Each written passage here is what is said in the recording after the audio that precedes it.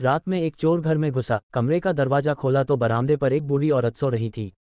खटपट से उसकी आँख खुल गई, चोर ने घबरा कर देखा तो वह लेटे लेटे बोली, बेटा, तुम देखने से किसी अच्छे घर के लगते हो, लगता है किसी परेशानी से मजबूर होकर इस रास्ते पर लग गए हो। चलो, कोई बात नहीं, अलमारी के तीसरे बक्से में एक तिजोरी है, इसमें का सारा माल तुम चुपचाप ले जाना।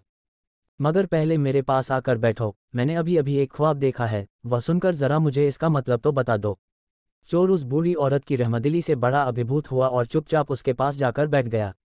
बुढ़िया ने अपना सपना सुनाना शुरू किया, बेटा, मैंने देखा कि मैं एक रेगिस्तान में खो गई हूँ। ऐसे में एक चील मेरे पास आई और उसने तीन बार ज़ोर ज़ोर से बोला, पंकज पंकज पंकज। बस फिर ख्वाब खत्म हो गया और मेरी आँख खुल गई। जरा बताओ तो इसका क्या मतलब हुआ?